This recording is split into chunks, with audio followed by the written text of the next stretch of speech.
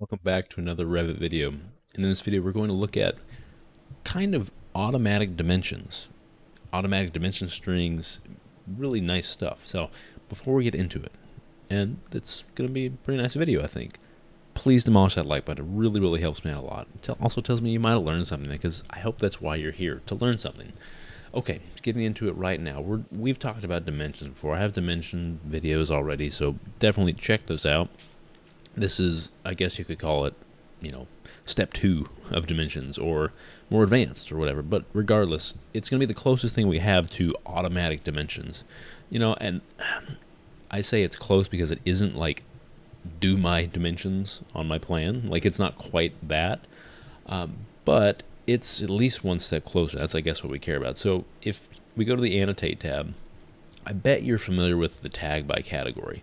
And tag by category, of course, tags anything by category. But if we click tag all, we can see that we can literally choose to tag everything here. Now, that's a little more automated than what we're doing, but in a sense, when it comes to dimensions, that's kind of what we're doing. We're, we're going to have some options to look through and then actually place these dimensions and, of course, put them where we want them, but uh, have more automation to it, which is kind of the point here. So in the annotate tab, we have all of our dimensions, and the, the main thing to note here is that this sort of automation that we're uh, working with is only with the aligned. And I will say that's probably the dimension that I end up using 95 to 99% of the time. Very rarely do I find myself needing really any of these others. Of course, spot and elevations and all that, I need that, and spot slopes, I need those a lot. But the align is of, of these actual dimensions the tool that I end up using the most. So of course DI or whichever you want. Uh, if you want to click the, the button itself, you can also find it in the modify tab, of course. Go to modify, there's dimension, we can drop down and choose all these different dimensions that we saw before in the annotation tab. But I'll just click that and then here we are. And so of course, I'm not trying to show you something that, you know, is hidden or anything like that, but you know, we can always draw dimensions here. Great. Really easy. Uh, but where I want to point you to, which is where I typically don't think to look, happens to be up here in this green bar. Particularly if we look at this pick. So by default, the pick option is going to be set to individual reference. And so, of course, we just saw that. Individually, I can select a point to reference and get our dimension. Easy. Um, but of course, I don't want to do that. I want it to be a little more automated. So here we have a drop down and it is, uh, we also have the option of entire walls, which, woo, entire walls. That sounds really interesting. So I want to preface all of this by saying I'm not going to use this part every single time I want to draw a dimension string because a lot of times I need something either very specific or I guess like, let's say something less general than what I'm going to be able to get from this tool. Um, but I will say this is probably the best tool when it comes to dimensioning consistently, especially overall dimensions, like overall exterior wall dimensions, anything like that, exterior or you know the outer extents of your model, that kind of conditions. And so it says pick entire wall, so I just pick the whole wall. So I it literally gets gives me walls to highlight. So I'm just going to work with this wall uh, for this tutorial. But so I click on the wall and I get my whole dimension. Like I don't have to select the ends or anything like that. So I'm gonna I'm gonna just put this up here. And now how did we get this particularly? We got that because we are actually looking at wall faces up here again. This is this is the default, so it's not something you need to worry about necessarily, but you do need to worry about it if you want to change it. So for example, we might be a little more interested not necessarily in wall faces, but maybe maybe wall center lines. I'd say probably not wall center lines. I'd say probably the center of the core or faces of core, more likely that. But of course, it depends on the type of work you're doing. If you're doing finish work, you're probably doing you know wall faces, which is the default, or if you're doing you know shell work, it might be just faces of core, which makes more sense to me as someone who's doing more shell work. But regardless, it doesn't necessarily matter. You're gonna get the same result as in it's going to automatically do the dimension for you. It's just where is it dimensioning to?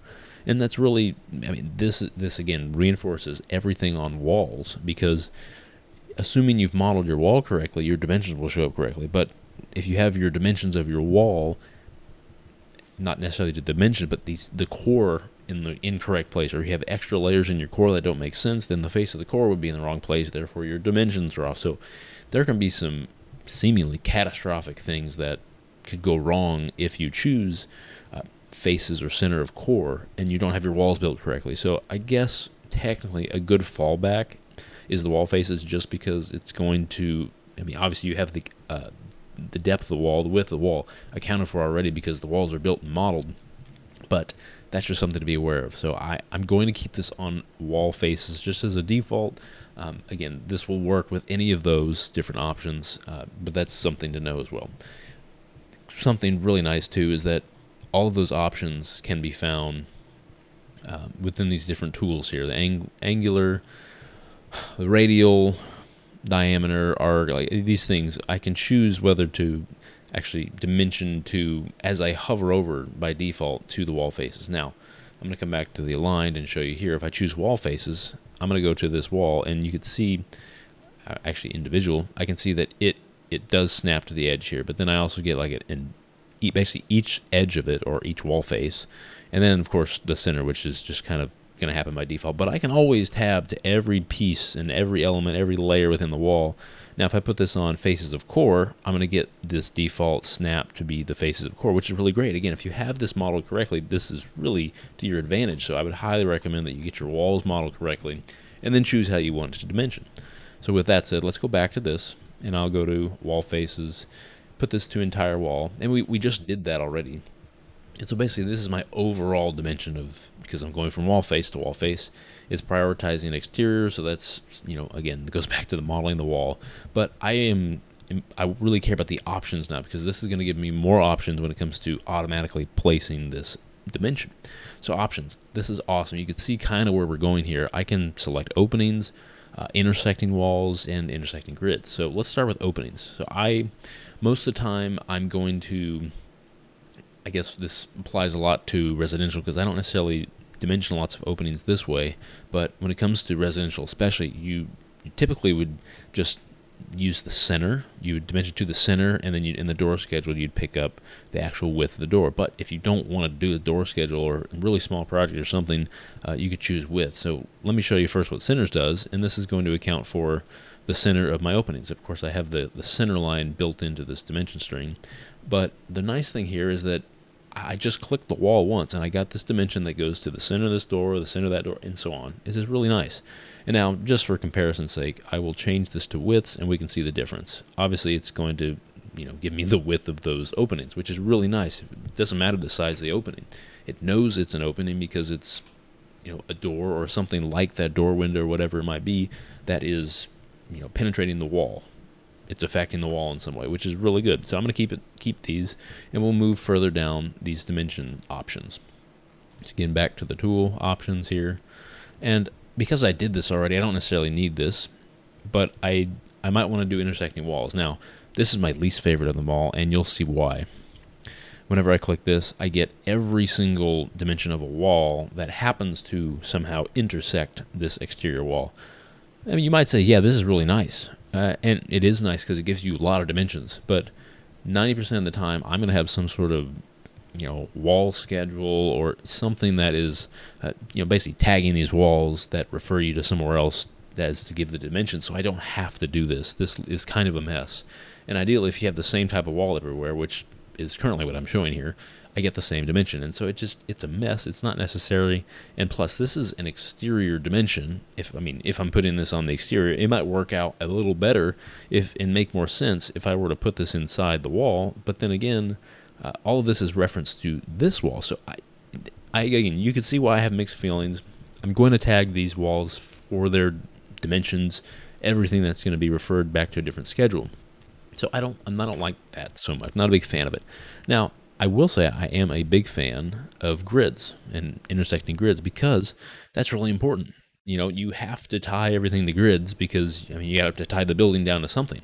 And so the nice thing is clicking this I can see, all right, these are I mean, I, I get all the grids. Now, typically speaking, I'm not going to do this in that I would just have one of these dimensions tied to a grid line because I don't need all of them. Now, this is helpful, of course, especially you would do this Uh, if you're trying to denote consistency between bays, you know, 30 foot, 30 foot, whatever, that's fine. You would probably do that once, but not everywhere. And after that, it's it's fine. So it, again, this is really helpful, really easy. But the chaotic part is that, is that we could actually put all this together, and I would never do this also.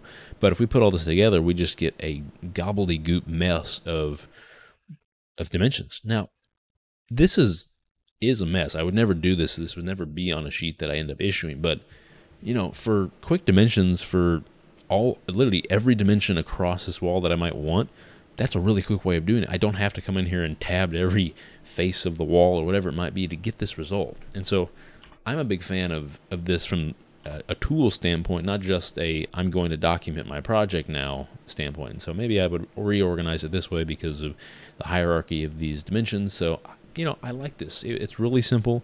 Uh, it, I, again, I would probably use this from from the standpoint of I'm going to do overall dimensions on the exterior of my project, whether that's actually exterior or just the outer outer walls, outer extents of my project, because it, I get it really quickly and it gives me the information that I need really quickly. So I don't know. This is kind of up to you whether you want to use it. I hope you did learn something because we we looked at dimensions not just from the standpoint of placing them, but having them kind of automatically placed for you. And so, if you did happen to learn something or you just end up liking the video, please, please demolish that like button. It really, really helps me out a lot, and I really appreciate all you who have. And so, again, that will do it for this video. We looked at automatic dimensions, automatic in a way. Call it automatic if you want, but regardless, that will do it. Have a wonderful day. Thank you very much for watching. I'll see you in the next one.